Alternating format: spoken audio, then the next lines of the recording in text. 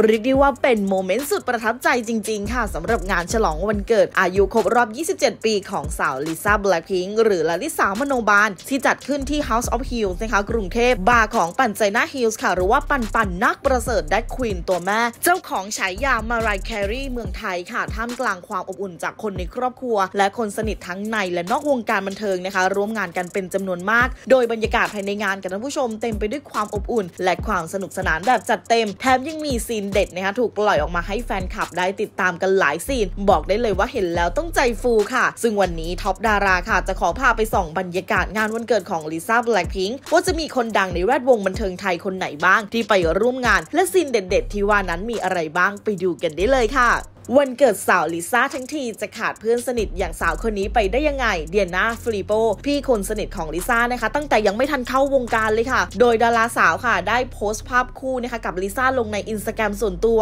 พร้อมกับเขียนคำอวยพรเป็นภาษาอังกฤษนะคะ ซึ่งแปลว่าสุขสันต์วันเกิดสาวที่น่าทึ่งที่สุดที่ทำให้ทุกวันสดใส เพียงแค่เป็นตัวของตัวเอง ขอให้มีวันที่ยอดเยี่ยมเหมือนกับที่เธอเป็นนะคะ น้องสาวผู้เป็นดวงใจของฉันตลอดไป นอกจากนี้นะคะก็ยังมีสาวโสด so hot อย่างโยเกิร์ตณัฐฐชาช์นะคะที่ได้มาร่วมฉลองวันเกิดให้กับลิซ่าในครั้งนี้ด้วย ซึ่งโมเมนต์ที่ทำให้แฟนๆ เห็นแล้วรู้สึกประทับใจนะคะก็คือภาพที่ลิซ่าโผกอดโยเกิร์ตค่ะ แบบสนิทแนบชิดนะคะราวกับว่าเติมพลังใจให้กันและกัน ซึ่งทางด้านของโยเกิร์ตค่ะ ก็ได้มีการลงภาพนี้ในอินสตาแกรมพร้อมกับร่ายยาวความรู้สึกที่มีต่อลิซ่าอย่างสุดซึ้งนะคะว่า ขอบคุณที่คอยติดต่อมาหาฉันเสมอเมื่อฉันมีช่วงเวลาที่ยากลำบากเนื่องจากพ่อของฉันเสียชีวิตจากโควิด และครั้งนี้เป็นช่วงเวลาที่เปลี่ยนแปลงชีวิตครั้งใหญ่คำพูดของคุณคือพลังซับพอร์ตที่ยิ่งใหญ่ มีพลังบวกอย่างมาก และเป็นพลังขับเคลื่อนที่สำคัญ ฉันไม่สงสัยเลยว่าทำไมคุณมาได้ไกลขนาดนี้ทำไมผู้คนถึงรักคุณ ขอบคุณอีกครั้งที่พยายามให้กำลังใจฉัน ขอบคุณที่ให้ฉันมาร่วมงานวันเกิดปีที่ 27 ของคุณ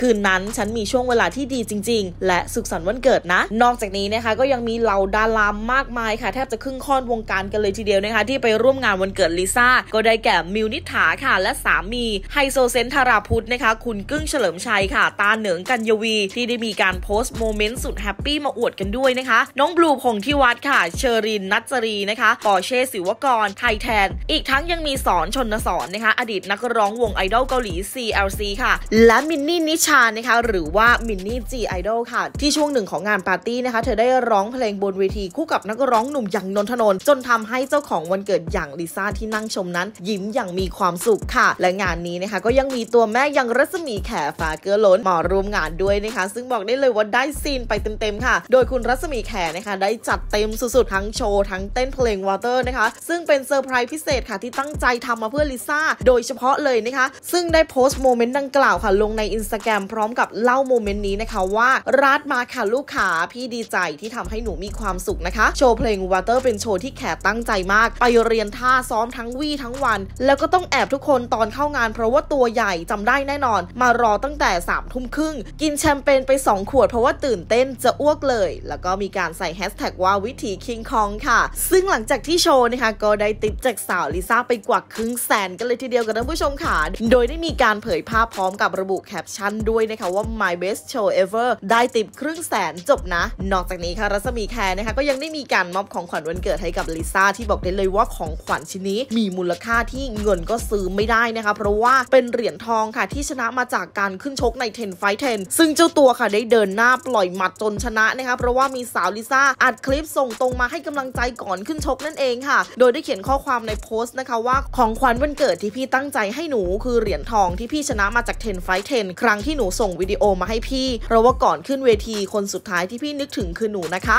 ความสำเร็จนี้พี่ขอตอบแทนน้องนะคะ พี่รักนะคะ ซึ่งนอกจากโมเมนต์กับเพื่อนพ้องในวงการบันเทิงไทยนะคะงานนี้แฟนๆยังได้เห็นโมเมนต์สุดอบอุ่นกับครอบครัวของลิซ่าที่ได้ควงคุณพ่อคุณแม่นะคะ และก็คุณยายสุดที่รักมาร่วมงานด้วยค่ะ โดยภาพครอบครัวช็อตที่สาวลิซ่านั้นจับมือคุณยายแน่นๆน่ารักสุดๆไปเลยละค่ะท่านผู้ชม ซึ่งหลังจากที่จบงานนะคะลิซ่าก็ได้โพสต์ภาพลงในอินสตาแกรมส่วนตัว เก็บไว้เป็นความทรงจำพร้อมกับระบุข้อความนะคะว่าขอบคุณทุกๆ คนค่ะ ที่ทำให้วันเกิดปีที่ 27 ของเธอเนี่ยพิเศษยิ่งขึ้นไปอีกนะคะท่วมท้นไปด้วยความรักจนถึงตอนนี้ก็ยังคงไม่สามารถลืมวันนี้ได้เลย ก็เรียกได้ว่าวันเกิดปีนี้ของลิซ่านะคะแม้จะเป็นปีที่มีอะไรหลาย ๆ อย่างเปลี่ยนแปลงค่ะ แต่ก็เป็นปีที่เติบโตขึ้นนะคะท่ามกลางความรักของคนในครอบครัวเพื่อนและแฟน ๆ ที่รักลิซ่าค่ะ ถ้าไม่อยากพลาดข่าวบันเทิงแซ่บๆก่อนใคร อย่าลืมกดไลค์กดแชร์ กด Subscribe YouTube Channel Top Dara และแพลตฟอร์มอื่น ๆ ของ Top Dara นะคะ